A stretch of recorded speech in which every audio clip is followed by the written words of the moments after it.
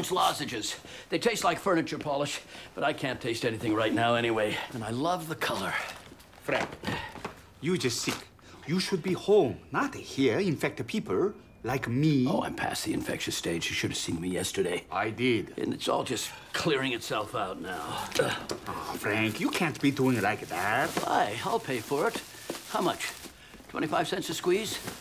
that reminds me of a girl back at our local dance. No, hand sanitizer make a super bug. That's why so many people is sick now. Is that really true? I read in Miss Chatelaine that that's just a myth. What you read in a magazine, I see in a store. Customer come in sick, uh, buy hand sanitizer, blow nose, rub hand sanitizer, then come back sick again. Sick, blow, rub. Cycle.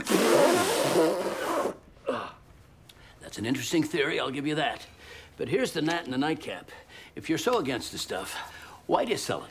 Cycle is bad for health, but good for business. Twenty-two ninety-five. Ouch.